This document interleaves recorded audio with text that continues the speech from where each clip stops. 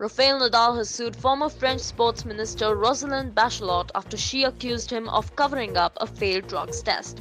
Bachelot was sports minister between 2007 and 2010. When asked about Sharapova's admission that she failed a drug test at the Australian Open, she alleged that Nadal faked an injury in 2012 when he missed the final six months of the season due to knee problems in order to hide a positive drug test.